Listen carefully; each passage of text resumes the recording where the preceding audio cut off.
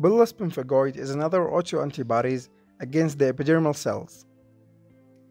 It is less severe than pemphigus vulgaris, but more commonly seen. And again, it is also a type 2 hypersensitivity reaction. It's the result of autoantibodies against the hemidesmosomes, which connect the epidermal cells to the basement membrane. So the cells will be connected together just fine, but they're not connected to the basement membrane.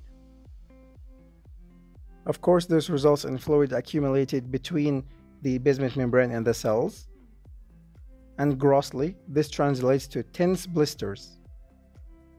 So you can feel the blisters and they're very tense and hard. And if you leave them alone, they will heal over time, leaving no scars. Unlike pemphigus vulgaris, where the blisters always leave, leave marks and scars.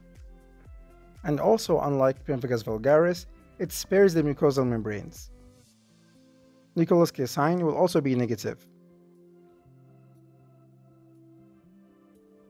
Under immunofluorescent light, if we take a sample, we will see a linear pattern. And this will be present between the epidermal and dermal junction, indicating autoantibodies activities in this area.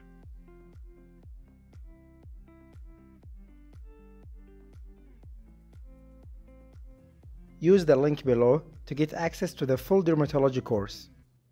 This includes more than 60 lectures with study notes and revision cards. You will also get access to the flashcards and MCQs. Thank you for watching.